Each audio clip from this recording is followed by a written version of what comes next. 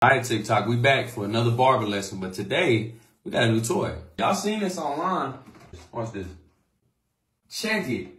Oh, yeah, let's work. All right, so a friend of mine called me the other week because he just got some new clippers, but he didn't really know how to hold them. So today I'm gonna focus on different ways to hold the clippers when you're cutting different parts of your head and using different techniques. Without further ado, let's cut.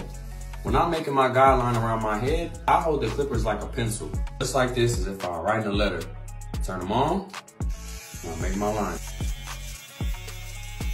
Because I'm right-handed, I use my right hand holding it like a pencil and I bring it around as far as I can go. You're not gonna be able to get all the way back to the side. So, I hold it like a flashlight and I finish the line and bring it here.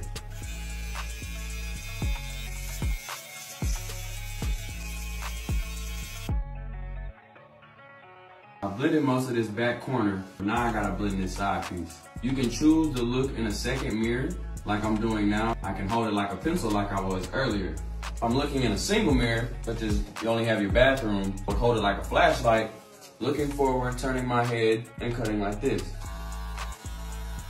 So now you get to a point where you wanna cut with the grain. This is where you're gonna hold the clippers like you're throwing a dart. Able to come right here, come right down. It's easy for you to just move that up, slide it up.